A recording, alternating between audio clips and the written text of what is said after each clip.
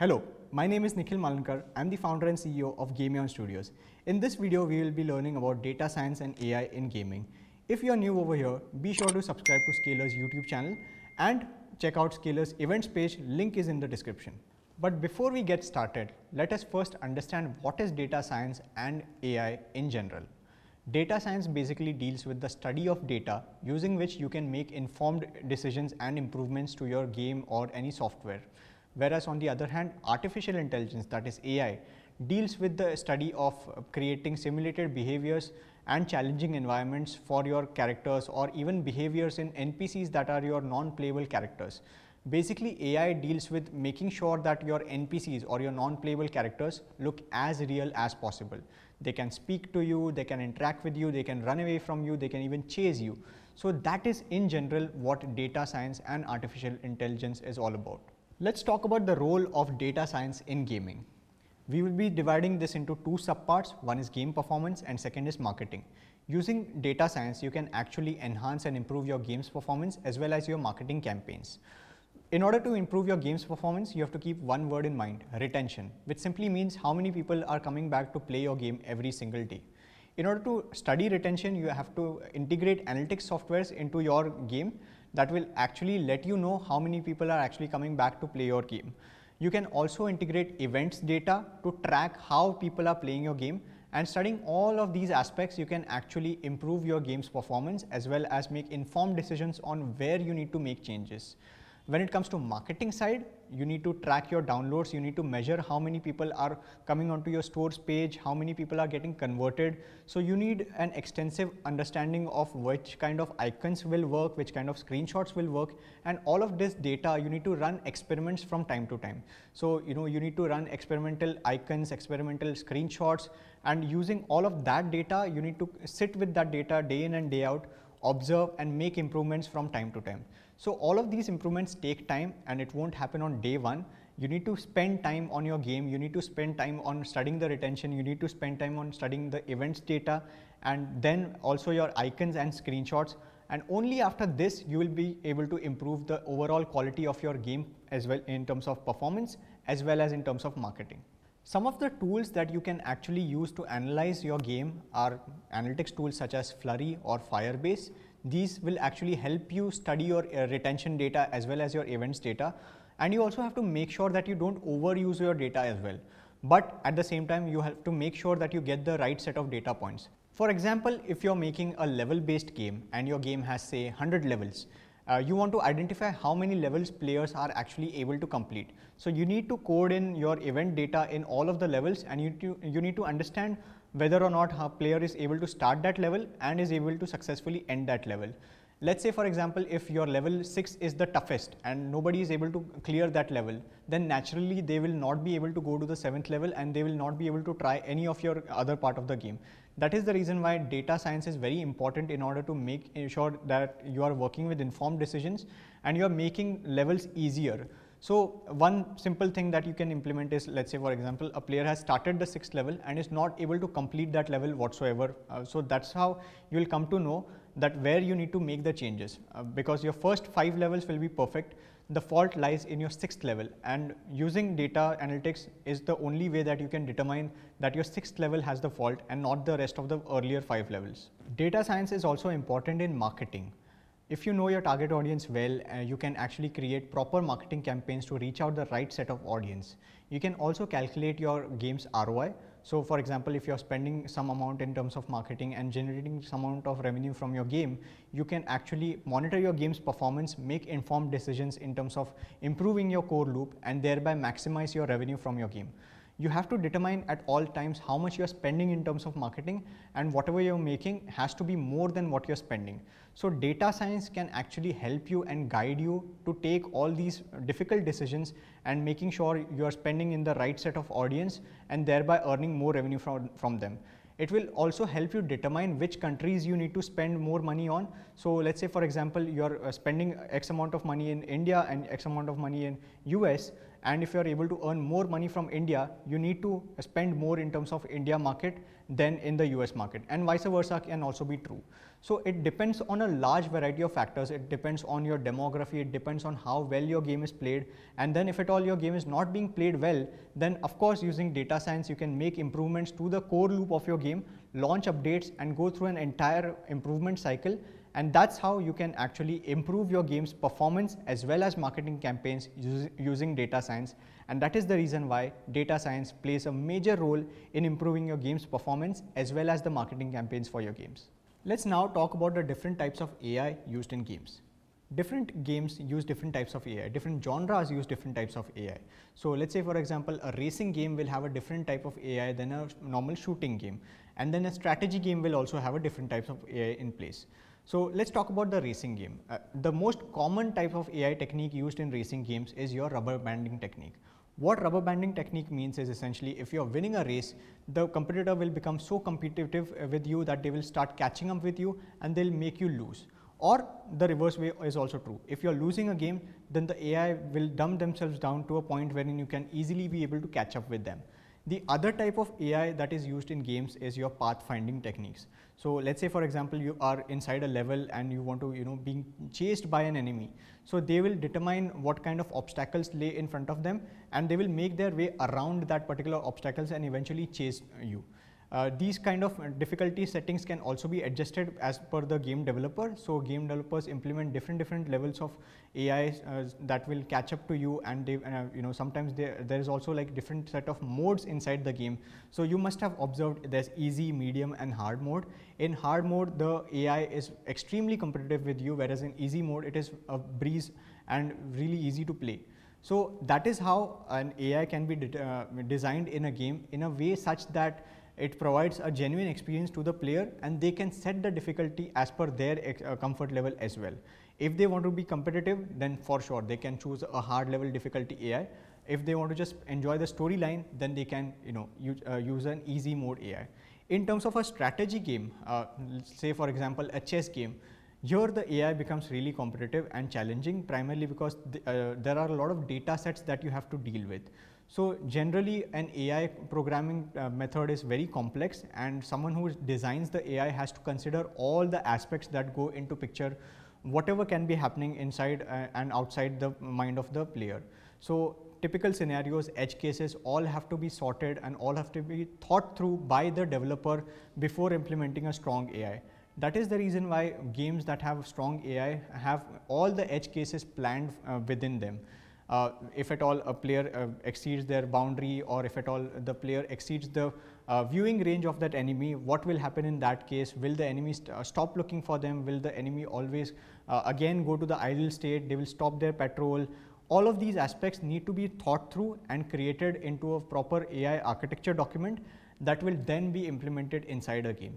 So a strong AI will actually make you believe that a non-playable character or an NPC is actually out there and talking to you or conversing with you.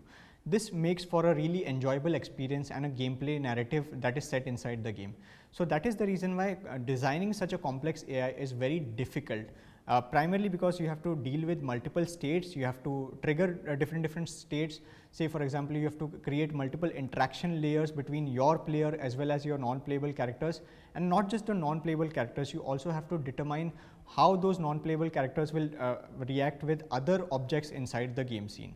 So all of these aspects coming together make for a really good gameplay experience and that is the reason why AI is very important in games it makes for a believable gameplay experience and it does not make you feel as though you're playing a game alone and that's how it provides you with much more entertainment. So that's it about the uh, use of multiple AI in games.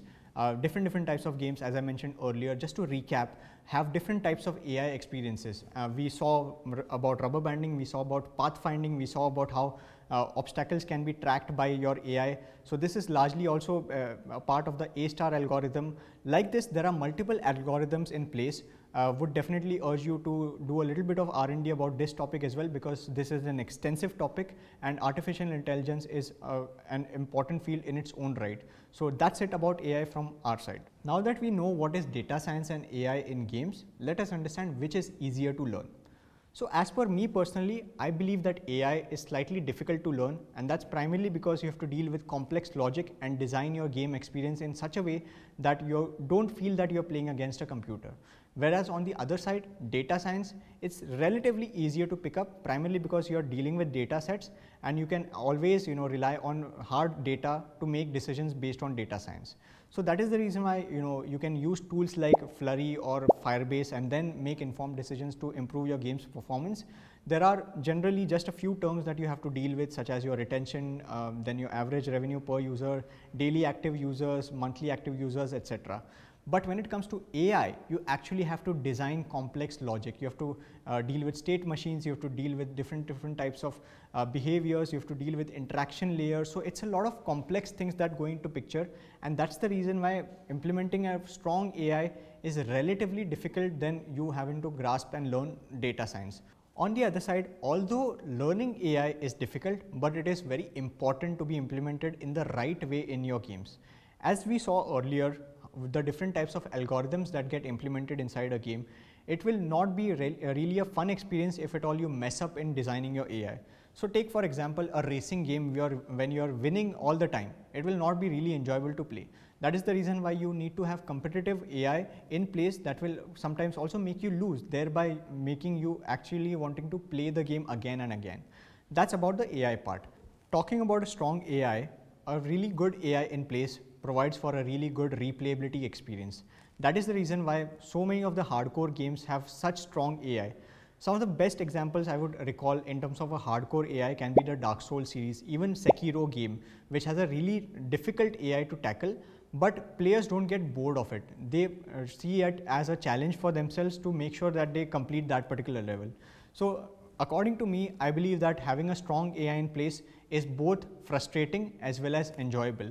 That is the reason why hardcore players, they get hooked onto a game for hours and hours together. Even though they are doing uh, almost the repetitive tasks and fighting the same set of bosses, it provides for a really fun and nourishing experience for the gamer whenever they are actually able to defeat that difficult boss. So that's the reason why AI in terms of gaming needs to be implemented in the right way and that is how it will be able to provide you uh, with an enjoyable experience. Although I mentioned earlier that data science is relatively easier to pick up, I would definitely recommend you to learn about AI as well. Uh, that's primarily because it is challenging for yourself as well as fun to learn. So that is the reason why I would definitely recommend you to learn about AI as well. Here are some of my favorite games that use AI and data science amazingly well. I'm talking about Candy Crush, Clash of Clans, Need for Speed series, Red Dead Redemption, and even chess. So let us do a deep dive into each of these games and understand what do they do right.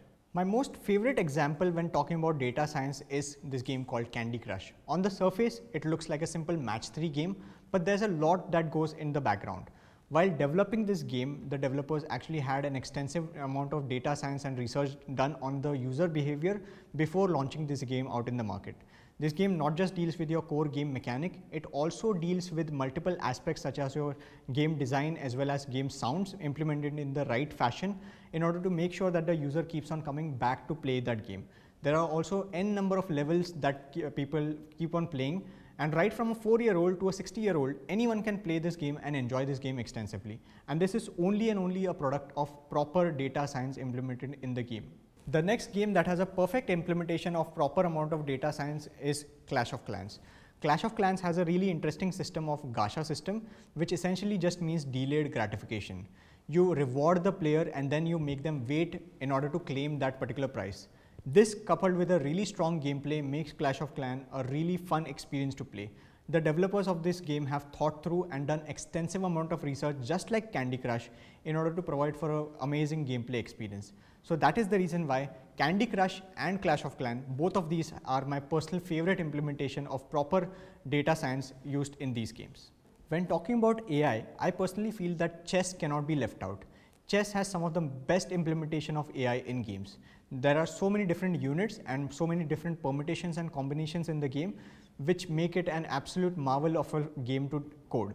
So a human versus human scenario is relatively easier because all the inputs are being taken from the player. But when it comes to designing an AI wherein a human is playing against a bot, that particular experience should be really challenging and the AI should not be dumb enough to make the wrong move. because you have to keep all these things in mind you have to uh, keep the uh, track of the position of that particular player and the bot and you also have to predict what the player is going to do next and also plan for your checkmate moves that is what makes chess really difficult in terms of implementation of AI and an amazing example of AI being implemented in video games. The next really strong example of a proper AI system in place is all the open world games in uh, question. So be it Red Dead Redemption, Grand Theft Auto, Sleeping Dogs, Watch Dogs, all these open world games have some amazing AI implementations in place. Right from your pedestrians to your car and your traffic system and your food stalls and your dumb AIs, every single thing in place makes for a really amazing immersive experience. So all these open world experiences uh, have uh, some amazing amount of AI implemented in them, which makes you believe that you are a part of that world. And that is the reason why I personally love, uh, if I were to single out Red Dead Redemption 2 in that matter, because this game provides you with so many aspects in terms of world building. There are trains moving in the game, there are people that you can interact with, there are people you can help, there are horses that you can ride. Horses also have their own set of AI. So all of these beautiful implementations come as a part in Red Dead Redemption 2 and this is thanks to the first implementation in place which set uh, the seeds for that game to mature further. Uh, along with this, also Rockstar Games has created some amazing open world experiences like your Grand Theft Auto series. They as well have some amazing implementation of AI in place. So that is the reason why if I were to look at some of the strongest examples in AI, I would always refer to open world games because they have a wide variety of systems in place that work beautifully with sync with each other. With this, we come towards the end of data science and AI in gaming. We hope you found this video informative. And if you like this video, press the like button and be sure to subscribe to Scaler's YouTube channel and hit the bell icon. In order to learn from industry experts, be sure to follow the Scalers event page. Link for that is mentioned in the description. Thank you.